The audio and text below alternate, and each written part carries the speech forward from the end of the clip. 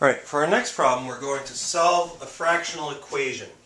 So we have 4 over 3x minus 9 plus 5 over 6x minus 3 equals 1 over 2x minus 1. Now these might look like completely different denominators, but two of them factor. And if we're lucky, we'll get a nice LCD out of all this. So factoring a common 3 out of the denominator here, we have 3 times x minus 3 plus 5 over, well again there's the common 3, so we pull a 3 out and we get a 2x minus 1. And that equals 1 over 2x minus 1.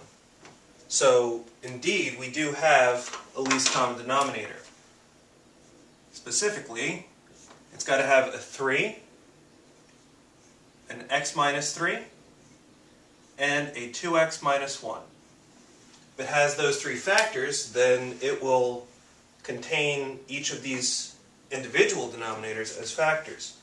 That's going to be very useful to us because if we multiply every term by the LCD, we will cancel out and we will lose all of our fractions.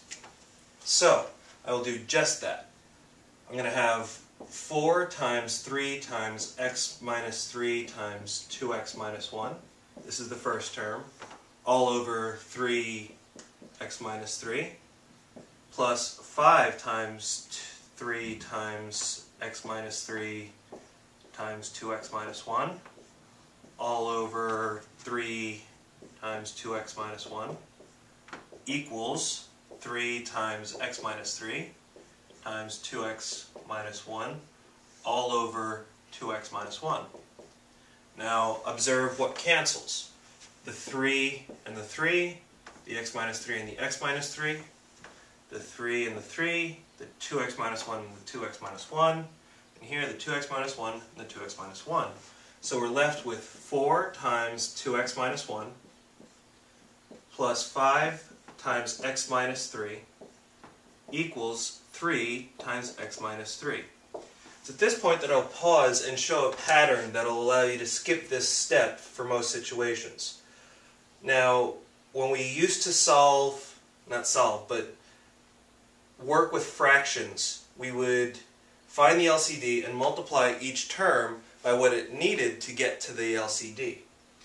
Now, this term, 3x minus 3, needs a 2x minus 1. Well, notice we have the numerator and the 2x minus 1.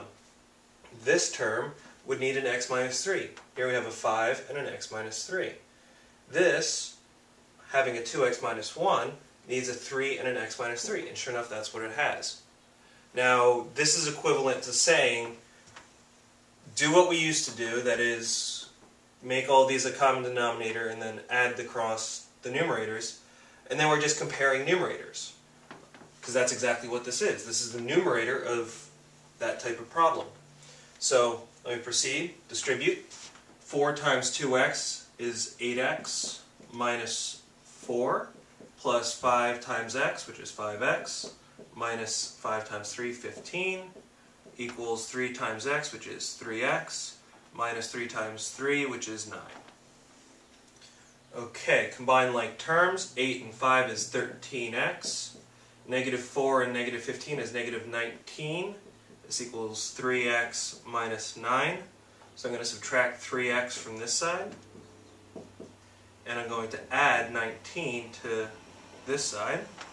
And that's going to give me 10x is equal to 10 so I divide by 10 x is equal to 1 now we need to double check make sure that it's an actual solution it is possible that our solution is one of the things that makes the denominator 0 and thus undefined uh, it would appear that that's not the case, but we can check our answer anyway. 4 over 3 minus 9, so that's 4 over negative 6, so that's negative 2 thirds, plus 5 over 6 minus 3, so that's 5 over uh, 5 over 3, so negative 6, or no, sorry, negative 2 thirds and hold on. Okay. I'm just going to stop at this point. You can use your calculator to verify that this is correct. x equals 1 is our solution.